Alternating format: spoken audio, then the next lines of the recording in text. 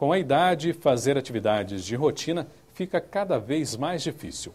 A prática de exercícios melhora o condicionamento físico e a qualidade de vida. E as academias de rua são uma opção saudável e de graça para quem quer entrar em forma. Dona Edna, aos 77 anos, é uma das mais animadas da turma da academia de rua do bairro Santa Maria. Eu vim para cá porque eu moro perto e é bom para mim, né?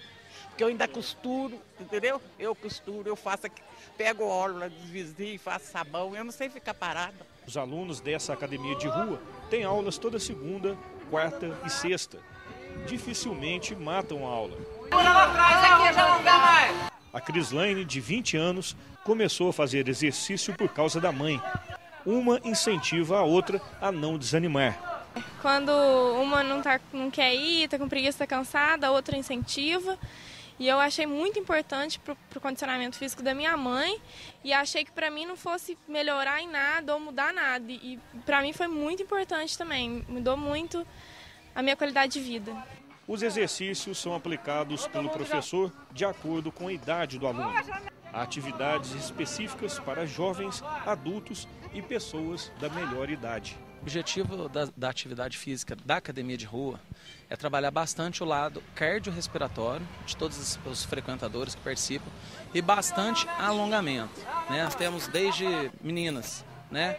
É, jovens de 15 anos até pessoas com 80, 85 anos que fazem atividade.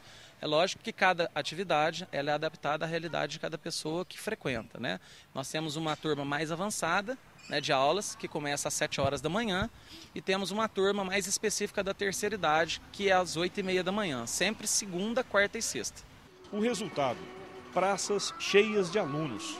Com o tempo, os alunos criam uma relação de intimidade e cada turno vira uma grande família, direito a brincadeiras. Procura trabalhar bastante a socialização, porque mesmo pessoas né, com algumas limitações físicas, nós também temos algumas pessoas com limitação psicológica.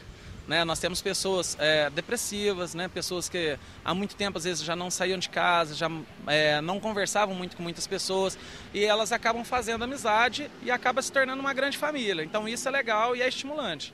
Meu Deus do céu, ela faz tudo certinho, eu faço tudo errado, pela metade. Aí ele põe lá na frente, do lado dele, fica me corrigindo, todo mundo sabe meu nome. Mas eu tô, tô aprendendo.